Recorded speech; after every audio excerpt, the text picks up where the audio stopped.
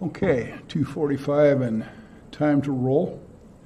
You may remember that last time we were taking our first look at the aggregate supply aggregate demand model and we looked at the structure of the model with no applications. And I reminded you there's some background reading you must do. And also pointed out that after next week, and we've completed the loanable funds model, then we have our first examination. So that I think then is um, a week from next Tuesday will be our first examination. So we'll start talking about that, and I'll have to send out electric bullwhip emails to the people in this class who are watching the videos because I can tell that they're falling way behind as they always do. And so tell your friends if you have any to get caught up on this stuff because if you try to cover it all at the last minute, it's difficult to do and I think that is the operative factor that separates out the A's from everybody else in this class. So this is where we stopped, and that's a good place for us to start. We said certain questions can be answered in the context of the loanable, the aggregate supply aggregate demand model, and this was our list. What causes inflation, or do we have a theory of inflation that can be represented by the model? And when we discover historically that there have been episodes of inflation with recession, which is counterintuitive, can this model explain that? What is the role of inflationary expectations? We're beginning to talk about the robust impact of expectations upon economic behavior. And then more specific issues that are covered in the written chapter the effects of productivity changes as explained by the model, a discussion of general wage levels in a country, and even a return to a discussion of the pathology of the business cycle. So let's go and take a look at the very first question the question about inflation, which is also effectively a question about deflation potentially as well. So I've already said this, but I didn't show it in the model. When we were talking about the construction of the aggregate supply curve, we pointed out that if you're watching this on the slides, by the way, what I'm doing here is pointing toward the slide in the classroom, and I have no way to show you on the video slide what it is they're looking at. So I apologize for that. You have to figure that out from context. Um, we looked at the flat part of the aggregate supply curve, and then we saw that it rapidly moves upward. We associated that turning point with some statistics, the one we identified as an example was the capacity utilization rate, and after that, the aggregate supply uh, curve becomes nearly vertical and therefore represents mostly inflation. And so we said at that point that if you're down in here for some reason, you can have very high levels of economic growth that are non inflationary because that's what that flat segment implies. That's the non inflationary region of the aggregate supply curve. And now we can use this uh, example using the capacity utilization rate. You may recall, going back a few slides here, um, that when we looked at the capacity utilization rate, I have to skip back a few slides to do this. This is the monthly data going from two, uh, 2012, and this was the annual data. We saw this slide last time. That when we approached a level above 85%, that that appeared to be associated with inflationary pressures. So the emphasis the first time we looked at that slide was on this period right through here in the late 1980s on the left side of the graph.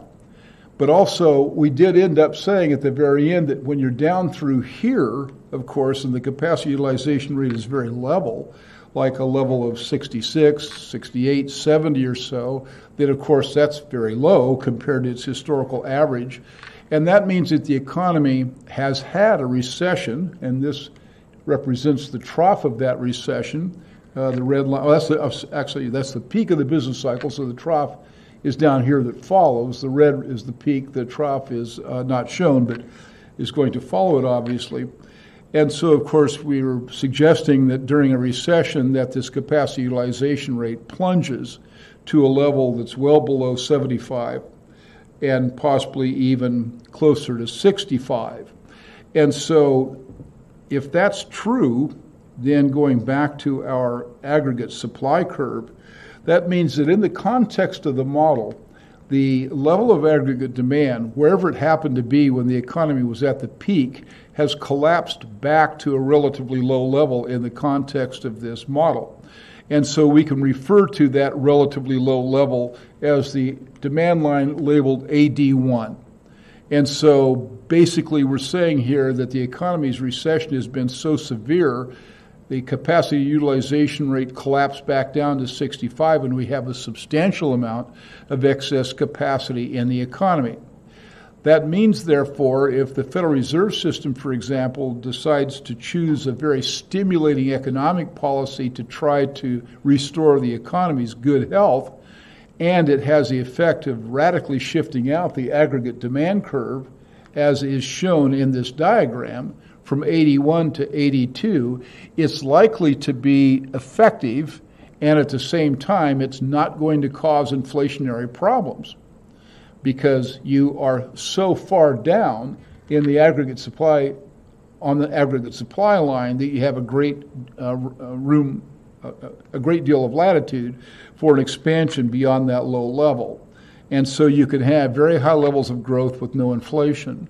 Now, this is one of the reasons why we have to dismiss the suggestion that too much money chasing too few goods causes inflation, because this kind of phenomenon that I've just described, a policy run by the Federal Reserve System intentionally to stimulate the economy, so it will move from AD1 to AD2, is of course going to be a policy that shows up in copious growth of the money supply and credit, however measured. It's going to show up as very high levels of money supply growth rate, very high levels of credit growth rate, and despite the fact that that data is there, it shows up as absolutely no inflation, of course. And so there's a clear example of how you have to dismiss this simple notion that if you pump the economy with excess credit or money it's going to cause inflation. In this context, not only does it not cause inflation, we demonstrate that instead we're going to experience price stability. You do get the desired effect, which is a substantial increase in aggregate demand measured in real terms, and therefore GDP measured in real terms. And that is exactly what the policymakers are trying to achieve. So that does mean that if you're able to use robust monetary policy to stimulate demand over, in fact, months, if not years, you can do that and stimulate the economy without causing inflation. So that's a very valuable lesson right there. On the other hand, if you continue to stimulate past the recovery level, and as a consequence, the capacity utilization rate and similar measures rises back up to what people regard as near full capacity, then your ability to continue to use that kind of policy vanishes, obviously. And so we're suspecting that by the time we get to the point where the aggregate demand curve AD2 is intersecting the aggregate supply curve, that the capacity utilization rate at that point is back up above 80% and beginning to move in the direction of 85%. And so, if that were to continue, if the stimulus were to continue, then you may begin to see inflationary pressures.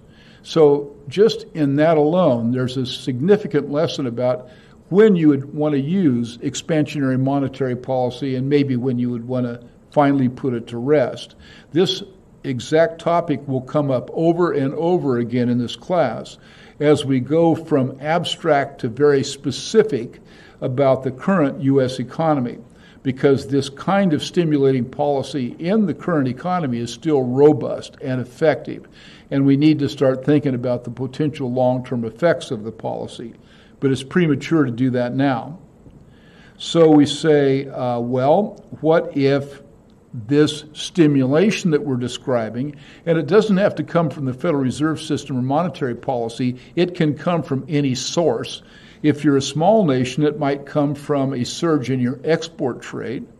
It can come from a very aggressive fiscal policy as well, which would involve the U.S. government, if it's the U.S. we're talking about, increasing federal expenditures hugely without paying for them with taxes basically expanding it with a budget deficit. That could also cause this shift in aggregate demand. But let's just, for the time being, uh, restrict it to a discussion of money supply. It's just we're not talking only about that as a possibility. We're just using that as the current example. If you start to stimulate in the way that we've just described in a different context, where it's been a long time since the last recession, which, by the way, is the current context, and if you're running higher capacity utilization rates, which really isn't the case right now, it turns out. We saw that, and that was surprising revelation. It was surprising to me when I noticed how much it had gone down last year, and it continues down.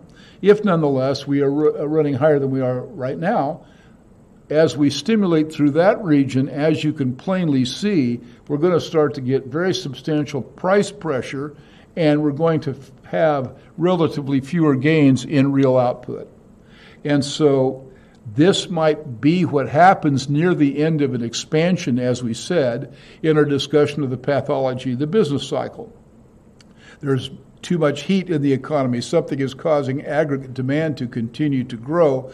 The economy's capacity is reaching full capacity. Remember what I said about the ancient argument between Malthus and Ricardo, you can't grow a bushel of wheat in a flower pot. You expand the economy's capacity for production over time, but you can't do it quickly in a short period of time very easily.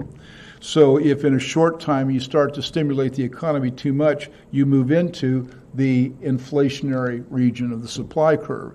And if that happens, then that is what we refer to as classical demand pull inflation all right? And that is typically the cause of inflation in the modern era. But that is not the kind of inflation that we see associated with business recessions, right? That's the kind of inflation that we see that is intuitive, associated with a strong economy in terms of real output. It's just getting too strong in terms of the stimulus. Sorry, so is the idea of classical demand inflation, is that demand from people is so high that it pushes the demand into that.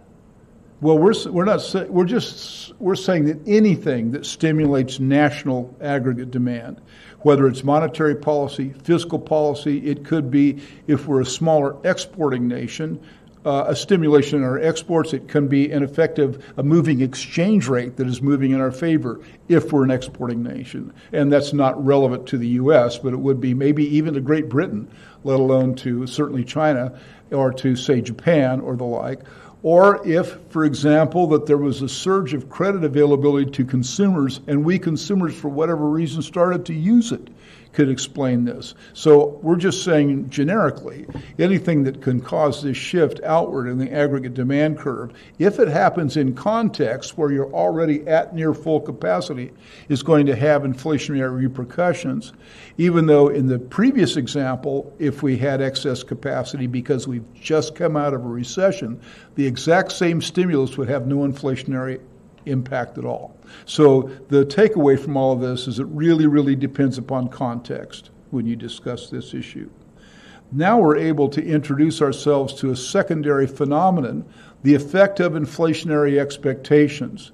And when you hear discussions of inflation or read about it uh, in economic literature, you'll often hear the expression that inflation is undesirable because it has this automatic tendency to get worse past some point. I already said it myself in class two or three times. When you get inflation levels at 5 or 6%, they tend to almost automatically go to 10 or 12% or higher. And when they go above double digit, then they want to race right up to, say, 20% or 25%. And then finally, if you pass some really dangerous threshold, then you have the problem of the Weimar Republic in Germany in the 1920s, where it just races out of control, or the problem of Venezuela at the current time, where it just races out of control. And you begin to literally see inflation rates of in excess of 1,000% per year, 1,000% per month, 1,000% per week, which has actually been seen historically. So the question is why is it that when inflation becomes a problem when we begin to see inflation that it has this tendency to automatically get worse. And that is answered in this explanation offered by the aggregate supply aggregate demand model.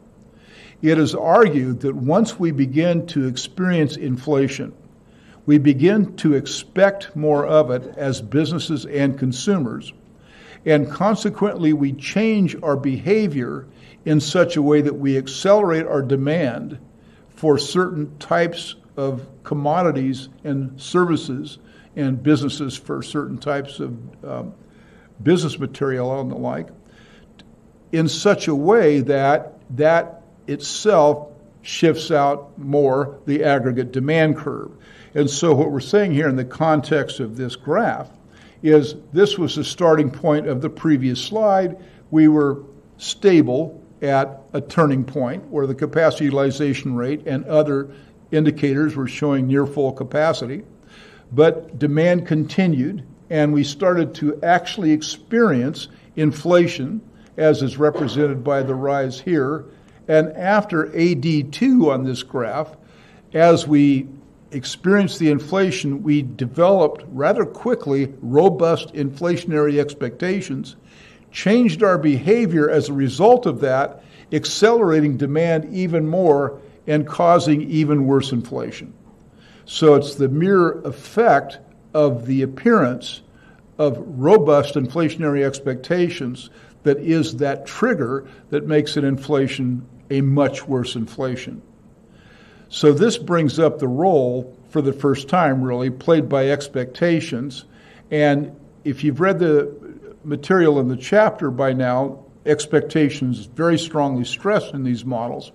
And I asked you to distinguish between rational and adaptive expectations.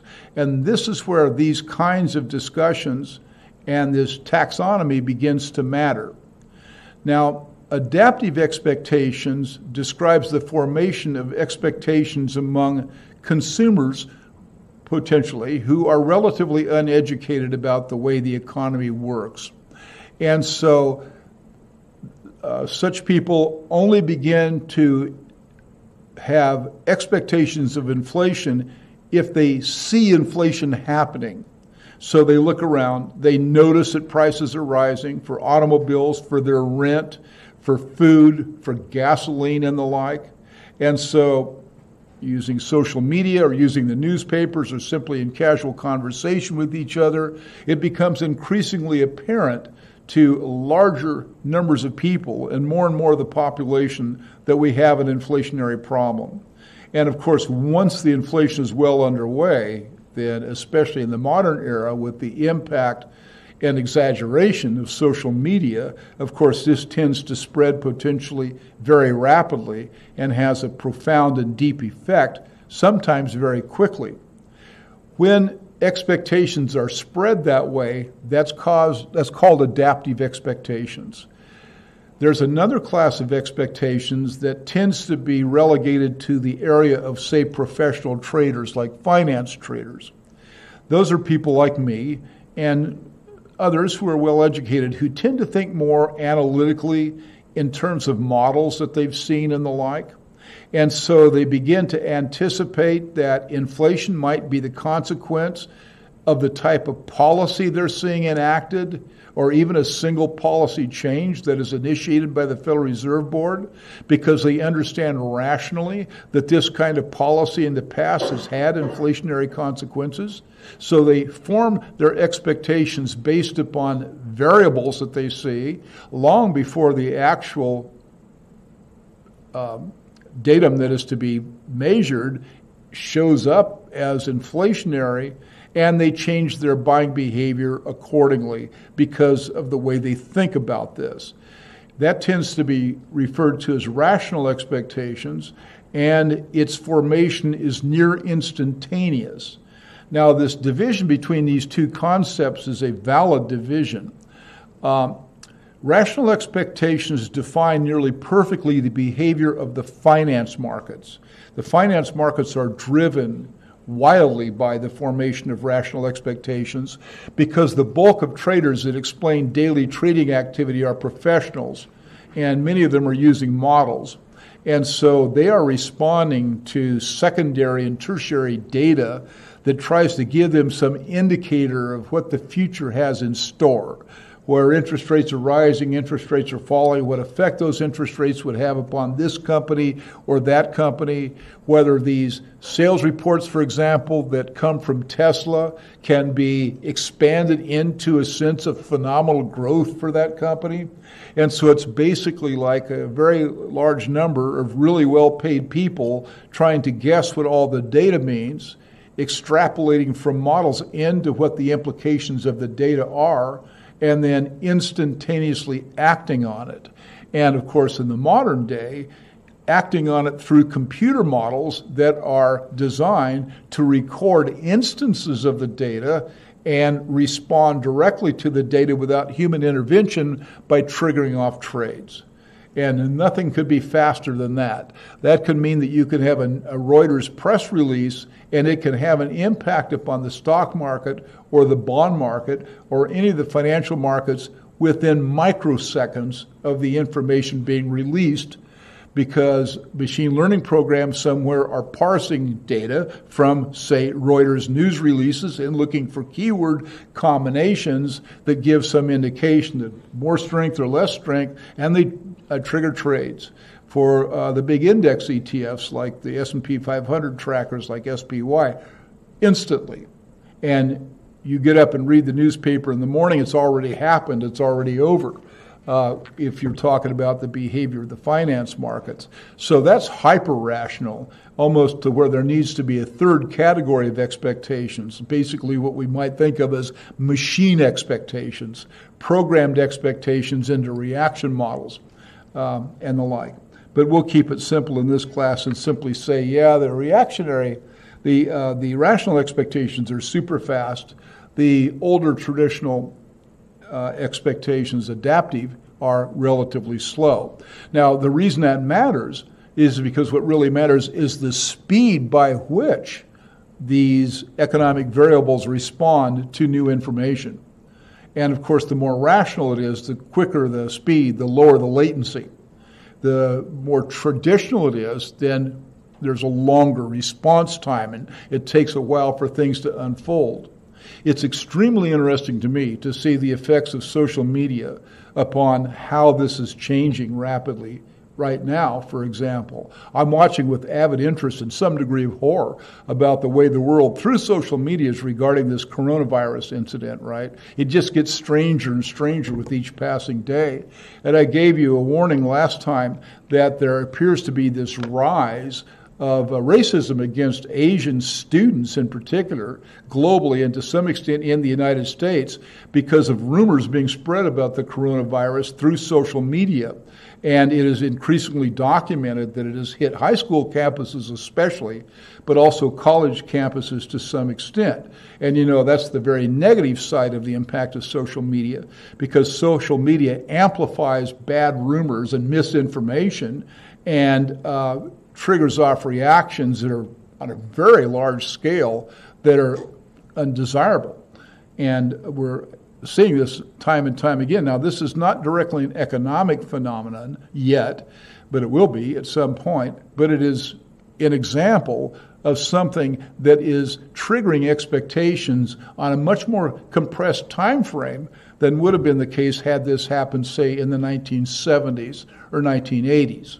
And uh, this, again, just seems to compress the reaction time on a very large scale of news events and also distorts the appropriate reaction to those events because of the misinformation that seems to be leveraged up so highly by social media.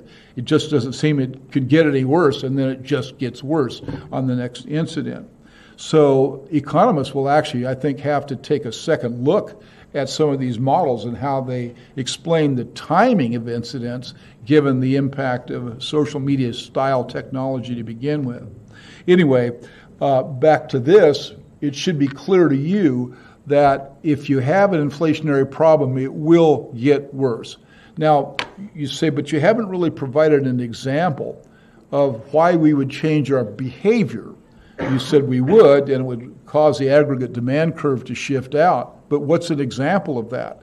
Well, it's really easy to explain by example. If you're talking about real estate, remember we identified real estate, whether commercial or um, residential, to be the most volatile category of the NIPA accounts. And the only reason it just doesn't whip this economy around savagely is because those two categories have a very low weight in the NIPA accounts. And they're offset hugely by the big, plodding, stable services component, which explains almost 50% of GDP. But nonetheless, they explain a lot of the business cycle. Well, that's the category that would be most responsive to exactly this argument because I if you take well, if you took Econ 104 from me in the past, one of the things I say to college students for generations, right? Uh, save up your money just as fast as you can and as soon as you can buy a house. That's the primary message of Econ 104. I start the class with it, I end the class with it. I've been giving that message for literally 40 years. And I've had students from the past say, That's the smartest thing you've ever told me to do. I did that and it really panned out well. Uh, because again, it's a leverage investment, and the rates of return on that leverage investment, because of the leverage, turn out to be very high over time. Well, suppose therefore you were taking this to heart, and you're you've been working, you've graduated from Harvey Mudd finally, you got out of this torture chamber, and you're going to work for a little uh, plush, comfortable $250,000 per year job, screwing around doing something unimportant at Google, right? And so you say, okay, uh, I'm set. I've got all this income. But man, do I have high tax rate, tax bracket, because they don't have any deduction for real estate. So you go try to buy your first house or apartment or condo or um, tube. I guess I've been watching YouTube to see where the dynamics of housing are going in Tokyo because Tokyo always leads everything that happens in the United States. So basically, people are now living in tubes in Tokyo and uh, if you go to a hotel room, you just check into your tube. it's a, you know, it's a little little tube that's uh, kind of square with rounded corners, and typically made of plastic. The nicer ones have a nicer material for the texture and the feel, and it's so big, you know, and the equivalent of thirty or forty dollars a night, cheap. And you just crawl into your tube and go to sleep, and then you go eat in a common room, and you use the bathroom in a common room. So, uh, so I don't know what you're going to be buying as your first residence. Maybe it's going to be a tube in Menlo Park. in a 40 story tube building, and uh, every night you'll uh, climb up a ladder and climb into your tube, and you pay $145,000 for your tube. But just count the money rolling in after that. Your tube will be worth $280,000 in five years, to be sure. So uh, if you're in the home, condo, or tube market in five years, then if you were shopping around and you began to notice that inflation was appearing and these prices were starting to rise, especially if you remember that when that happens, interest rates also rise with them, which has a double compounding effect not only on your price for the property you're going to buy, but also upon your rent if you don't buy anything, because your rent's definitely going to go up a lot during an inflationary period. This would cause you to accelerate your purchase of real estate and might make you willing to buy whatever you thought you were going to buy at a higher price so you could avoid buying in the future at an even higher price than that. And so everybody accelerates their real estate demand to get in on the real estate before it drifts away from any possibility of ever buying anything. And that acceleration of demand actually makes the problem worse for a period of time. It exacerbates the rise in real estate prices, compounding them to be even higher, right? And you know that. That's also true if you're trying to buy an expensive car, or if you're trying to buy a car where you fear interest rates rising. You say, I want to buy a car, but I don't want to pay, you know, 18% for the interest rate on the car. I only want to pay 7% or whatever the current rate is now. You accelerate your demands for cars. So, therefore, those categories of GDP that have the highest volatility, which includes not only real estate of both categories, but also consumer durable goods, are the types of commodities that start to really inflate the first. And there you go, right? Even though they have a small weight, on overall GDP, they begin to have a higher impact because of the high levels of price inflation. So once that is underway, then it just spreads out to other commodities until we're accelerating our purchases of everything out of fear that we'll have to pay considerably more in the future. Now, the downside of this, by the way, which isn't represented in this lecture, it shows up later in this class, is that if we have deflationary expectations, it has the opposite effect. You say, why buy a house now? It collapses the demand curve, right? The demand curve goes back. Why buy a house now? Let's just wait two years and there'll be 20% less. Or why buy a car now?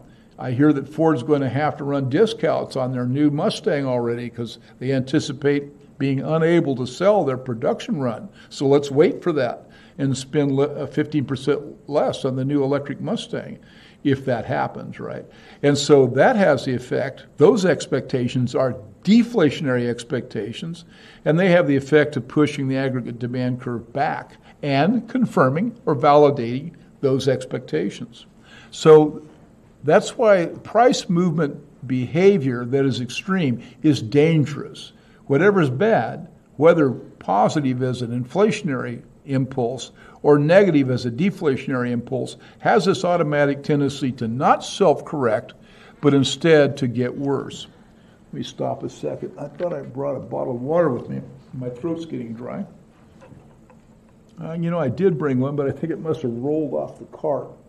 Well, I'll go a little longer, but I may have to get up and uh, get a sip of water from the fountain out there.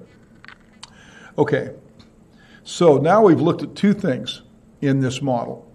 We've explained why the monetary impact, for example, of inflation depends upon context. It depends on where you're starting. That's the first thing. We've explained the impact of the formation of inflationary expectations on the phenomenon of inflation and why inflation gets worse. Now we can address that question about um, how we can have inflation during a recession. I actually do need to go get a sip of water. Otherwise, I'll lose my voice about halfway through this lecture. So you sit here and meditate on that graph and do a deep om breath control thing, and I'll be back and we'll pick this up. And if you're on video, just hang in there. Go get yourself a cup of coffee or um, get a joint or something like that. I'll be right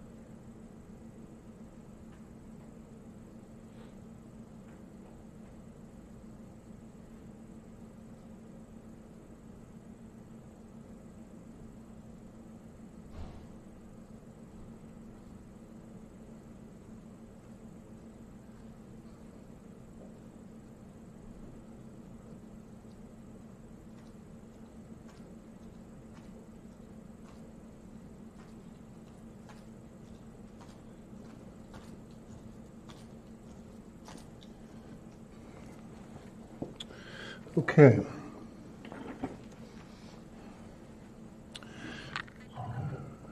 You're all relaxed and calmed down.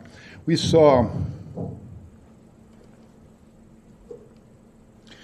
data earlier in the semester when we were looking at the inflationary period, and it showed kind of what's shown here in this really, really old slide from the late 80s um, that during that inflationary period through the 70s and 80s, this relationship between inflation and the business cycle actually existed, where we had inflation and recession at the same time, which is certainly not characteristic of demand pull inflation. And we had it again in the second so called double dip recession.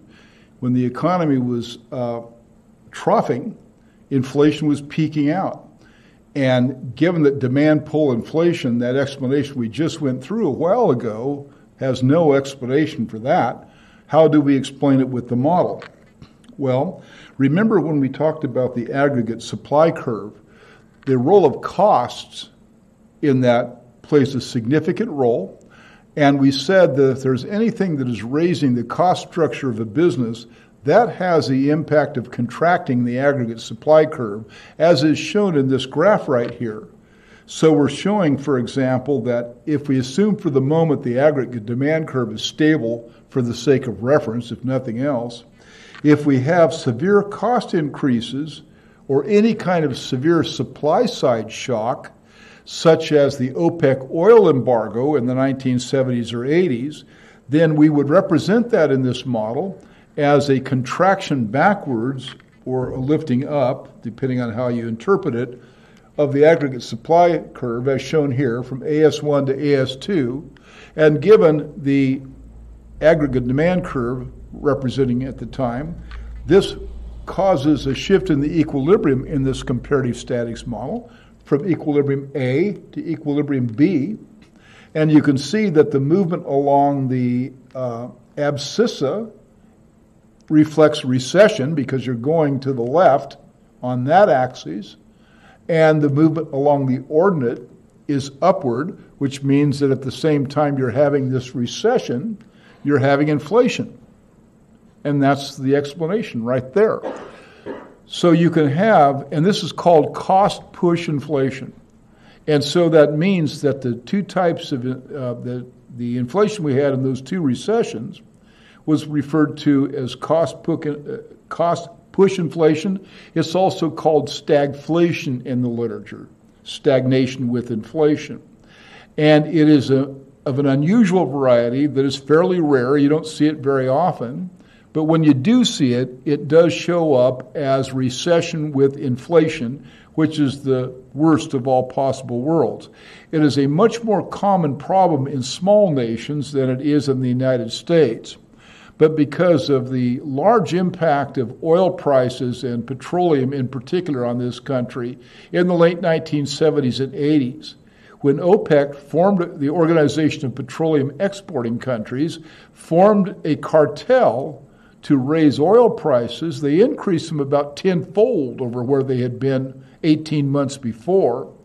And the shock to the economy was so severe that it actually caused a recession or contributed to a recession and at the same time contributed to an inflation. Now, it's hard to understand how that could be in the modern era because now we aren't quite so reliant upon fossil fuel based industries we were back in the 70s and 80s. Also, back then, we imported all of our fossil fuel products. We did not have any sizable level of oil production. We did have oil production in Texas Pennsylvania a little bit, mostly Texas and California, but it did not even come close to satisfying national demand. It wasn't even 10% of national demand. Now, of course, because of the impact of fracking, we not only are able almost entirely to provide our oil and natural gas needs domestically, we produce so much that we can export it. If you take a look at the data, You'll see that we have very high imports of oil and natural gas. We also have very high exports of oil. And so you'd say, well, why do you have high imports and exports of oil? Well, it's because it's a regional thing, right? Uh, it's a very regional business. And so you can have the East Coast, for example, importing oil from the Middle East, whereas uh, Texas and the West Coast is exporting oil to the uh, to Asia, Japan, and elsewhere. It's a very regional business. Back in the 70s and 80s, though, we were um, dependent upon the rest of the world for our oil supply. And it was mostly oil, it wasn't so much natural gas back in those days. I can remember the impact of it. It's something that anyone who lived through that era can remember. We had to ration gasoline in California for a long period of time to where you could buy gas at the fuel pump only on certain days if your license plate ended with an even number in it, because at that time they ended in numbers. And so if your last digit was even, you could buy gas on whatever the rule was Monday, Wednesday, and Friday. Uh, and if it was odd, you could buy it on Tuesday, Thursday, and Saturday. And I don't know what the rule was for Sunday. I don't remember anymore what the actual rule was. And so you could only buy gas on certain days of the week. And I remember that personally because I was in San Francisco during this period of time. And I had to try to drive back to um, Southern California. And I was driving a 1960 Ford Falcon, which actually got reasonably good gas mileage and gas was expensive then. It was already up to about a dollar fifty a gallon, which compared to now seems low, but it was only 16 cents a gallon when I was discharged from the Air Force in 1970. You could buy gasoline for 24 cents a gallon at the pump, and 11 cents of that was tax, right? So the actual cost of the gasoline was well, not even, I guess, 13 cents, right? Uh, 24 minus 13 cents a gallon.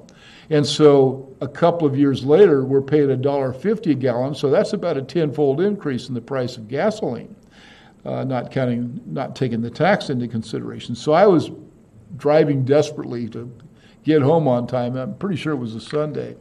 And so I got as far as Santa Barbara, but unfortunately, I didn't get to Santa Barbara before midnight. I got to Santa Barbara after midnight, and it turns out that I got to Santa Barbara after midnight on the day then that I could not buy gas. And so there's a little uh, Motel 6 in Santa Barbara near the freeway that every time I drive by it, even to this day, on the way up to Cambria or the Central Coast or something, I remember the time I had to stay in that hotel because for 24 hours because I was not able to buy gas until just a little bit after midnight, 24 hours after the time I checked into that hotel. So I was home a day late. So all I did, it was kind of nice. You know, I found a whole bunch of new bars I'd never been to before and went down to the beach the next day and kind of hung out there and found a couple of restaurants. Spent 24 hours in Santa Barbara waiting for gas. So this had a big impact upon the economy because it impacted not only fuel costs, but of course petroleum was used heavily in manufacturing, textiles and the like, so it had a big impact. And there were two embargoes. And that's why we had a double dip recession, actually. First embargo raised prices about tenfold. Then the second embargo, about three years later, raised prices another three or fourfold compared to that. Now, uh, this was the impact upon gasoline prices uh, in 1973 and 1979 in the United States. And so the red represents a 12 month moving average. And these are monthly rates, monthly growth rates that are not annualized. So look at the peaks after 73 and 79. So you're seeing uh, monthly rates that are increasing at above 6%, or especially in the really bad inflationary period right through here, consistently above 5% per month.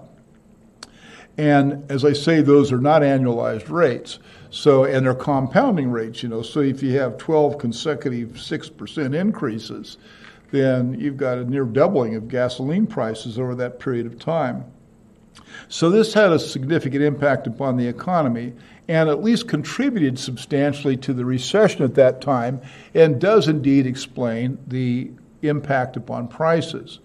So you ask yourself the question is that relevant ever again, likely? Well, first of all, in smaller countries, it's everything. This kind of stagflation is commonplace. It can be caused by exchange rates in a small country because, of course, their import costs can double or triple because of a failing exchange rate or because of a stronger exchange rate, for example.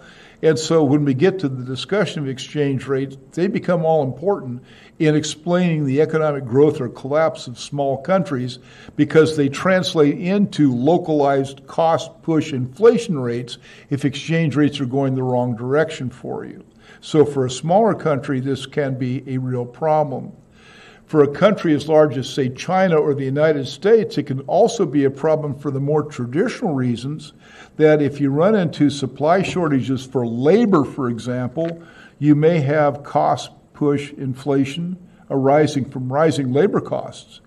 Or if you have natural resource costs that become peculiar, such as water shortages, you can have, uh, regionally at least, cost push pressure from water shortages in a country like the United States. So it's possible anywhere for this kind of phenomenon to return. You've never seen any of it in your lifetime if you live in the United States because there hasn't been any such pressure in your lifetime.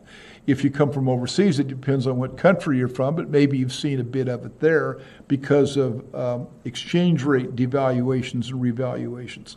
A topic too advanced to talk about yet in this class. Okay, so we've now got an answer to our third question. How do we explain this?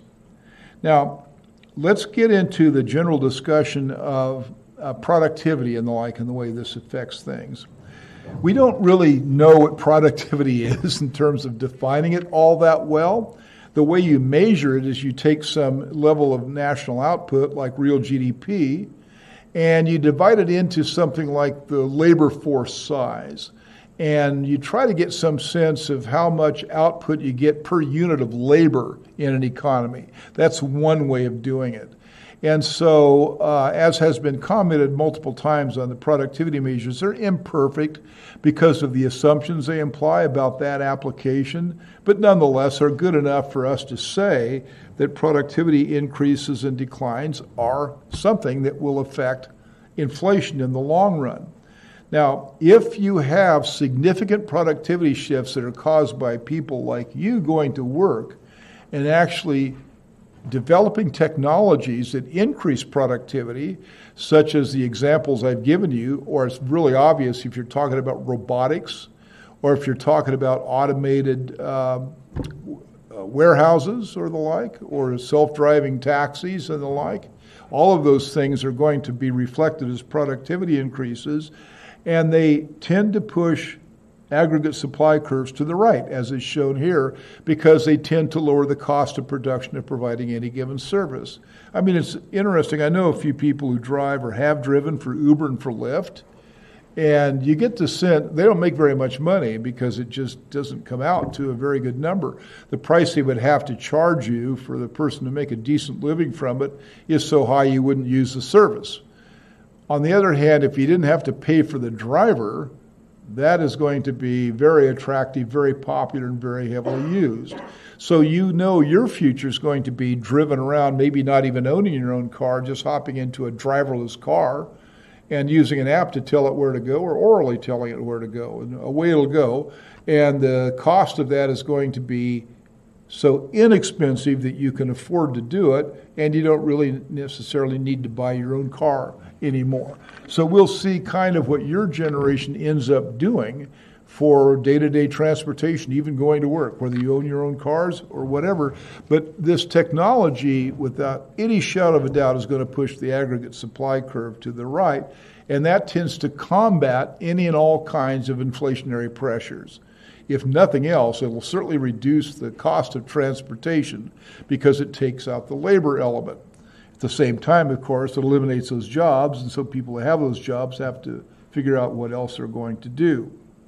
Now, um, rising costs, on the other hand, uh, shift the aggregate supply curve to the left, uh, as is shown. Um, I don't know why I have that as AS1, AS2. That appears to be backwards. We're saying it's shifting it to the left, so it's going from red to green. And so what we're saying here is that, uh, again, with the discussion of the supply curve, it kind of helps if you've seen the microeconomic development of a supply curve logically. But what we're saying is that at any level of output, that you're going to find businesses willing to uh, provide that output in a rising cost environment, such as represented by the movement from A to B, only if they can sell their product at a higher price because they have to cover their cost at the margin. And so, therefore, if you have a rising cost situation, it's going to push your aggregate supply curve to the left. And that is going to be contractionary. It can be, we've already said, that thing that produces stagflation, which is a combination of inflation and recession at the same time. Now, if you um, introduce at this point in the discussion the question about when are wage increases justified at a national level, let's say, or as a political issue, then it's useful to evaluate that question with this model. It kind of depends upon context, but whatever the context happens to be, you can do that. So, the first thing we have to say if this is a national political push of some kind or another, if you elect politicians who say we are going to, by fiat, raise wages so that we can eliminate this problem of the maldistribution of income, and so that will be a possible proposal, then it is going to have the effect, uh, if not offset by something else, of shifting the aggregate supply curve as is shown there from AS1 to AS2. It's going to have the effect of shifting it backwards. At the same time, of course, the whole point of raising wages at a national level by fiat decree or, or, or by law is to increase your capacity to buy and so that will also be shown as an increase in aggregate demand from AD1 to AD2. That'll be the successful part of the program. So the question is will any of you be any better off by virtue of this political program? And the answer is if you not, do not have in place a set of institutions that can encourage productivity gains, the answer is no. It's all an illusion. You won't be better off. You'll have higher wages nominally, but that'll be matched by higher prices that has been caused by the backward shift in the aggregate supply curve, and your standard of living will not go up. And on top of that, the maldistribution of income will not fix itself. The only way that you can legislate a redistribution of income or to legislate rising wages rather than simply allow the markets to produce them is to ensure that while you're doing it, you have some mechanism that guarantees you have significant productivity gains. Because if you have significant productivity gains through social engineering or private engineering for that matter, then you can pull this off. Then you can raise in, you can increase uh, wages in nominal terms, and they will amount to a wage increase in real terms because the productivity gains you get from using, say, new technology will prevent that aggregate supply curve from shifting back, as it's doing in this diagram, from AS1 to AS2. And you can have an actual standard of living that's higher, and you can potentially have a better distribution of income if this is sort of targeted. So I don't think a priori one wants to attack sort of general leftist, sort of Northern European style ideas simply because they're not going to do any good. There is a high probability that they won't do any good and will be counterproductive if they're not part of a very sophisticated social design that is going to ensure an increase of productivity. But if you have that, those kinds of programs can actually work. At least theoretically, they can work. They're not going to, though, if you don't. Now, that raises this question again. So, what is productivity?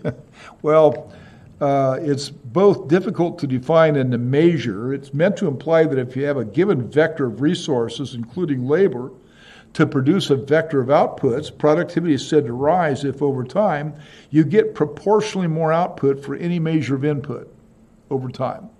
If you're speaking only of labor, it's really easy to see. You get more output in real terms per unit of labor if you have productivity gains, or that's the definition of productivity gains in some models. The largest contribution to productivity will be due to the application of technology to production, including the production of services. Because in this economy, where we have to have it is on the services side because service is so important. It's pretty easy to do it on the manufacturing side because manufacturing technology just, lends itself to better engineering all the time, right? Saving resources here, finding a better way to do it, reducing costs, reducing power usage. That's just part of modern engineering to provide those kinds of solutions. But for services where it's a little more abstract, it may be a bit harder to pull off. But nonetheless, it's going to have to be accomplished. A relevant and commonly used measure of national productivity is uh, GDP per amount of labor time. And uh, many economists use the organization, uh, what OECD, I don't even want to try to remember what that means, annual national accounts for international comparisons. And we use a BLS output per hour unit labor cost. Now, by that, uh, it's kind of strange when you look at it really. Now, here through the 1990s, let's look at the smoothed out moving average, right? Because everything else is too jagged. So we're looking at the movie, the five year moving average of labor productivity, and that's you know the only thing that really gives us any kind of message. We can see here that clearly through a period that goes uh, for almost 10 years, it was unambiguously rising. And then, strangely, after it peaked at about 2004, it fell off. Now, if you look at this from an engineering point of view, or you just say, I'm an engineer, I can explain the rise from 1995 to 2005, but how in the hell do you explain the decline from 2005 up to the present? You know, if it was stable, maybe that would be a little easier to understand, but this thing actually declines back down. It's very hard to figure out uh, what it is about this economy and our use of technology that caused the productivity measure per se to fall back like that. The gains from labor saving technology seems to have evaporated for the time being. And so we're not getting productivity gains now. Now, if you think ahead, though, and you look at robotics and some of the bigger technologies and self driving vehicles and the like, then one would think that that would show up as an increase you know, in the next few years of this measure. Because, of course, they're all labor saving to the extreme, especially the self driving vehicle stuff. So, after uh, some sort of technology replaces someone's job, are they still considered in the labor calculation? Because if not, then. Yeah, you count the labor force as just the active labor force. You don't care whether they've changed their job or not, you know, on this. And so usually you could assume uh, in this kind of economy, be, for demographic reasons, that although there will be a period of difficult adjustment for many people, most people will be able to find new jobs of some kind or another. And if you're talking about uh, more sophisticated economies in terms of labor management, such as the Northern European economies like Finland and Denmark and whatever, where they have active training programs to you know retrain people to do jobs, then there it shouldn't be a problem at all. Now, that doesn't, you don't want to gloss over the difficulty caused by the interim, you know, as you're going from, I just lost my job to, hey, I have a new job. if there's a three year period, that's going to be very difficult to live through. And so, if you don't have a social support program that makes that more tolerable, then that's too bad. This is why I think maybe uh, that the attraction, especially of your generation, of these more uh, more liberal Democratic candidates, appeals to you you kind of get all this. Maybe. I don't know. I'm, I'm not sure if you understand anything or not, right? But it seems to me why you like Bernie Sanders and Elizabeth Warren is because you kind of figured some of this out. It may be that you just think Bernie Sanders is a really cool guy who talks neat. I'm not sure about how you think, but uh, but these can- candidates, you know, that sort of suggest that the transition that has to be adjusted for and helped out uh, are likely, I think, to be candidates that appeal to you more than they would have, say, my generation when I was your age. But who knows? Politics is mystifying to me. So, anyway, to the extent that this trend continues, that's bad for anti inflationary measures. And it's also bad if you're saying we need to raise national income in general in this economy. Independent of how it's distributed, it's been stuck for most people for over 20 years. We need to raise that. And that's not going to be non inflationary unless this number goes up. When you take a look at efforts to estimate services, uh, the data is not the data is private for that. It's not public, and so you have to rely upon private data. So this is older. This is from the Wall Street Journal, and they're just surveying a private study that they paid for. And so, where's the productivity in uh, selected sectors? This is 2014. Well, take a look at this. You've got mining and agriculture. And you say, yeah, mining would be really an area where obviously you can have massive productivity gains, right? You're just talking about designing better and cheaper equipment and the like for mining. Mining and agriculture, the same thing. I do follow agricultural technology on YouTube because I find it fascinating. I mean, this is where all the self driving stuff is really advanced, right? These farms up by Fresno, they have tractors that sit out there driving by themselves for days, leveling fields using uh, laser guided uh, lights and whatever to make sure that the field's as level as a pool table, running for 10 miles in one direction, 10 miles in the other. And so the size of them and their productivity gains are really obvious in agriculture. Uh, and then you get down to services right here, you know, and you say, oh my God, services is actually negative, no productivity gains. The uh, contribution of labor is actually growing, not shrinking, and that doesn't bode well for this economy in the long run if that's true. And then when you break it down by services, you say, oh, yeah, now that you think about it, of course it's not. Let's look at this one right here. This one right here is interesting called it's called educational services. That would be the service you're currently paying $80,000 a year to take advantage of. Does it strike you that this industry is going through this re- remarkable growth of productivity gains for you? And is it resulting in tuition tumbling down to levels that are more affordable? No, no, it doesn't look like anything's changed at any level in this industry for the last 200 years. And uh, there hasn't been so much as a single productivity gain exercised by a single human being anywhere in the entire United States for that entire period of time, which explains why the cost of education just relentlessly defying all other inflationary measures just keeps going up 506% per year while everything else is deflating. And so, but if you look around at the technology and you say, well, whatever even they've got doesn't work, and then it's, you know, not improving, uh, duh. Legal services, same thing, right? You say, oh man, you get involved in a lawsuit, it'll be insanely expensive. And so there has to be some technological innovation that's dropping the cost of that. Nope, don't think so. If that ain't going to happen, maybe in your grandkids' lifetimes it'll happen, but not in mine, certainly not in yours. Yeah, I was told I was telling my students this morning Econ 136 that it's time you rioted, right? Because in that I teach it down there in that basement 60 person room down there, B442 or something. So everybody has to have a laptop in the class because it's a computer modeling class, right? And so every, people spend half the class trying to find a plug.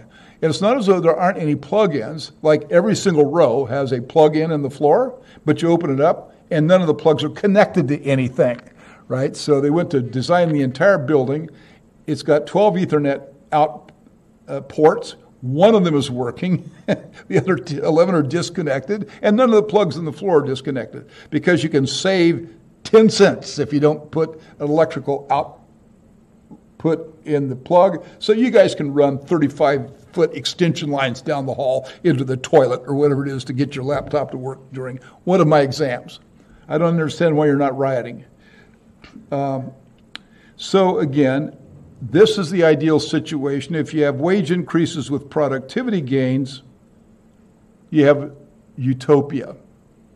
So, actually, you're the solution to the future because you know that really that's effectively, I mean, collectively, the students of this college and others like it it's your job, or will become your job for so many of you, to actually be those responsible for these productivity gains. And you'll be the salvation of all of this. The only way that we will ever solve this 90, 90% versus 10% problem is from a solution offered by you. We do have to change the social structure a little bit to make that work, but we can't just change the social structure and make it work without you doing something to contribute to the services sector productivity gains. So I think you've already figured that out. When we take a look at the uh, cost indexes, uh, this is what I use and what the Federal Reserve uses as a measure of the inverse of productivity, which is the effect of labor cost. So if you're not getting productivity gains, this is going up, is what we're saying, right? So this is shown with a two year moving average. And we showed that in the period uh, right through here, that productivity gains were rising, then they bottomed out. Now productivity gains are falling. So uh, the BLS Employment Cost Index, which is basically a measure of what it costs for producers to use their labor force, right? This was coming down during the productivity gains, and now the productivity gains were coming down. This is going up. And so this is seen as a key inflationary indicator by the Federal Reserve System. It's not going up at an alarming rate. It's still at a very low level, uh, under 3%, but it's going up compared to what it was in the past, and it's not coming down. So this also reminds us that this um, progress here is mostly technology, and that's why you are going to be those who make a contri- contribution to it. A couple more extensions of this, then we'll be done with this for a while. When we talk about the effects of government taxing, spending, and budget deficits, well, as the variables indicated, if you increase taxes upon people in isolation, that has a tendency to pull the aggregate demand curve back, as it shows here. But when the government increases its spending, that has a tendency to push the aggregate demand curve back out, as is shown there. So if you have a balanced budget and you say increase government spending, but you also increase taxes to pay for it, in the context of this model, that's more or less neutral, right? Because the spending is simply being misplaced from the private sector to the government sector. And that may make you unhappy as a taxpayer, but it's not going to have much effect upon GDP. If, on the other hand, you increase government spending and you don't increase taxes, then that stimulates unambiguously. You get this shift out in the aggregate demand curve because that is budget deficit financed government spending, and that can have a stimulating effect that's very strong. And this is the first exposure to this. Now, this, of course, is the temptation of modern politics you just persistently run really large budget deficits, such as the trillion dollar budget deficit that we presently undertake in this economy, it definitely has a stimulating effect upon the economy that's long lasting. It is cheap. Nobody complains about it. You vote people right back into office because they do it. You say, wow, this economy is doing really well. And um, I don't see any side effects of this. Well, there aren't any for you. It's for pr- future generations that have to deal with the debt. The side effects are to be held effect. But if you have no children, that's less of a concern. If you do have children, you can just kind of gloss it over and hope that they kind of work it out or something like that. So this is very uh, popular politically. So currently in Washington, even though we're having a critical presidential election coming up, you don't have a soul on any side, right or left, in a hugely divided nation that is willing to talk about the budget deficit at any level. And yet, it nonetheless, to an economist like Lee, me, is one of the most profoundly disturbing features of the modern economy because it does have legacy costs that are going to be very high at some point. The reason it's popular is because everybody's happy when you get free cocaine. And so basically, more aggregate demand, more real output, no apparent cost. In the credit recession in 2008 to 2010, we had that. And so remember, we did go way back on the, the uh, supply curve to a very low capacity utilization rate because of the mortgage related business recession. It was so serious. And so we knew when we were back there, way down through here, that we could stimulate this economy very strongly, and pull it back out of that, and not have to worry about inflation. And so that's what we did. U.S. economy in 2020, deficit finance spending. So you just keep pushing it out, pushing it out, pushing it out.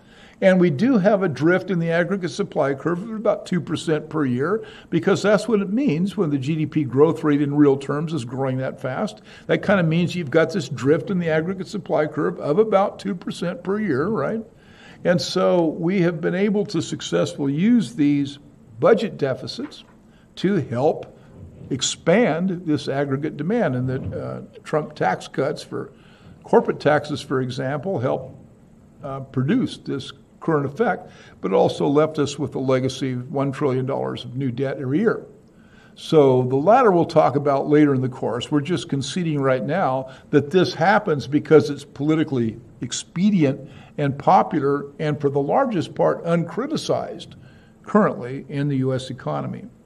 So we only had a little more than an hour there, and yet we were able to use that hour fruitfully to address a whole bunch of questions and issues with that elementary model.